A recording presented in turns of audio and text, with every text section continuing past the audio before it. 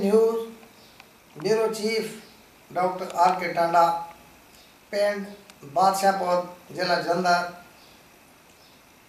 ਸਰਪੰਚ ਗੁਲਜ਼ਾਰ ਸਿੰਘ ਦੇ ਨਾਲ ਮੁਲਾਕਾਤ ਕਰ ਰਹੇ ਨੇ ਪਿੰਡ ਬਾਦਸ਼ਾਹਪੁਰ ਤਹਿਸੀਲ ਸ਼ਾਹਕੋਟ ਜ਼ਿਲ੍ਹਾ ਜਲੰਧਰ ਸਾਡੇ ਪਿੰਡ ਦੇ ਕੰਮ ਸ਼ਮਸ਼ਾਨ ਘਾਟ ਜਰਨਲ ਸ਼ਮਸ਼ਾਨ ਘਾਟ ਅਸੀਂ ਤੇ ਗਲੀਆਂ ਨਾਲੀਆਂ ਦੇ ਕੰਮ ਜਿਹੜੇ ਅਜੇ ਕੁਛ ਰਹਿੰਦੇ ਆ ਸੀਵਰੇਜ ਵੀ ਕੁਛ ਰਹਿੰਦਾ ਜੀ।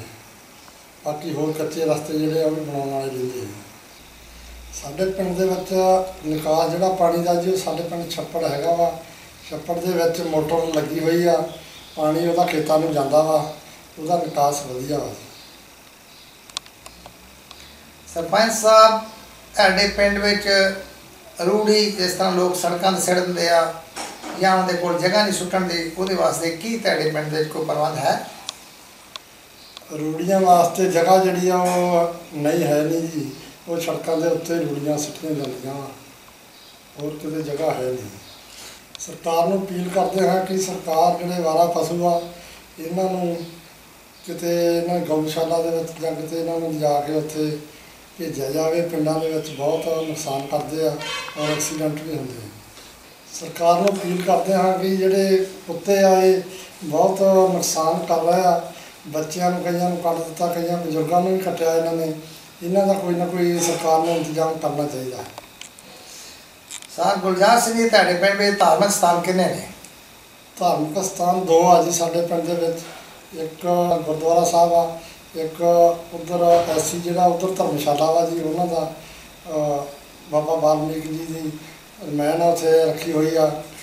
ਉਹ- ਉਹਨਾਂ ਦੇ ਵਾਸਤੇ ਕੁਝ ਪੈਸਿਆਂ ਦੀ ਵੀ ਉੱਥੇ ਜ਼ਰੂਰਤ ਹੈ ਜੇ ਕੰਮ ਕੁਝ ਅਧੂਰੇ ਪਏ ਆ। ਆਪਣੇ ਪਿੰਡ ਦੇ ਵਿੱਚ ਜਿਵੇਂ ਤੁਸੀਂ ਸਰਬਸੰਮਤੀ ਨਾਲ ਸਰਪੰਚ ਬਣੇ ਆ ਕਿਹੋ ਜਿਹਾ ਮਾਹੌਲ ਆ ਤੁਹਾਡੇ ਪ੍ਰਤੀ ਪਿੰਡ ਦਾ?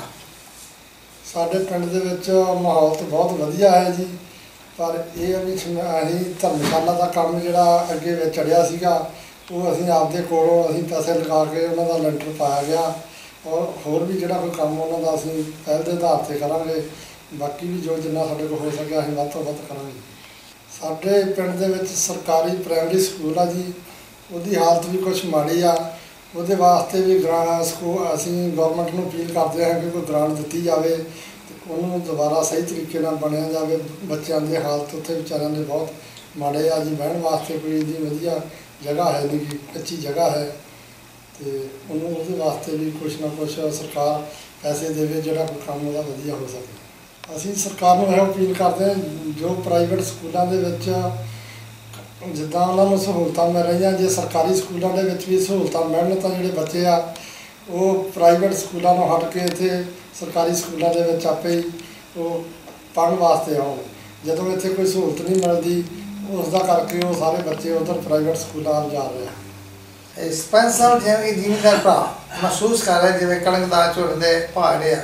ਸਿਮਤ ਕੀਤੇ ਗਏ ਤੇ ਬਾਕੀ ਜਿਹੜੀਆਂ ਫਸਲਾਂ ਹੈਗੀਆਂ, ਜਿਵੇਂ ਆਲੂ ਆ ਮਟਰ ਆ, ਜਿਵੇਂ ਬਹੁਤ ਸਾਰੀਆਂ ਸਬਜ਼ੀਆਂ ਤਿਆਰ ਕਰਕੇ ਮੰਡੀਆਂ ਨੂੰ ਜਾਂਦੇ ਜ਼ਿਮੀਂਦਾਰ ਕਹਿੰਦੇ ਸਾਨੂੰ ਭਾਅ ਨਹੀਂ ਮਿਲ ਰਹੇ ਪੂਰੇ ਜਿੰਨੇ ਭਾਅ ਹੋਣਾ ਚਾਹੀਦਾ, ਸਾਡਾ ਭਾਅ ਨਹੀਂ ਲੱਗਦਾ, ਇਹਦੇ ਬਾਰੇ ਕੀ ਕਹਿਣਾ ਚਾਹੁੰਦੇ ਅਸੀਂ ਸਰਕਾਰ ਨੂੰ ਅਪੀਲ ਕਰਦੇ ਹਾਂ ਕਿ ਜ਼ਿਮੀਂਦਾਰਾਂ ਨੂੰ ਜਿਹੜਾ ਵਾ ਰੇਟ ਵਧੀਆ ਦਿੱਤਾ ਜਾਵੇ ਔਰ ਜਿਹੜੀਆਂ ਫਸਲਾਂ ਹੁਣ ਜਿੱਦਾਂ ਆਲੂ ਹੈ ਘੱਟ ਰੇਟ ਤੇ ਵਿਕ ਰਿਹਾ ਆ, ਉਹ ਜ਼ਿਮੀਂਦਾਰ ਆ, ਹੁਣ ਥੱਲੇ ਲੱਗ ਰਿਹਾ ਵਾ ਤੇ ਆਉਂਦੇ ਸਾਲ ਤੱਕ ਜਿਹੜਾ ਆਲੂ ਹੋਰ ਘਟ ਜਾਊਗਾ, ਇਸ ਕਰਕੇ ਸਰਕਾਰ ਨੂੰ ਜਿਹੜਾ ਵੀ ਜ਼ਿਮੀਂਦਾਰਾਂ ਵਾਸਤੇ ਥੋੜਾ ਜਿਹਾ ਸਹੂਲਤ ਦੇਵੇ ਕਿ ਰੇਟ ਇਹਨਾਂ ਦੇ ਪੱਕੇ ਤੌਰ ਤੇ ਕੀਤੇ ਜਾਣ, ਜੋ ਵਧੀਆ ਲੋਕ ਉਸ ਪਾਸੇ ਲੱਗ ਜਾਣ।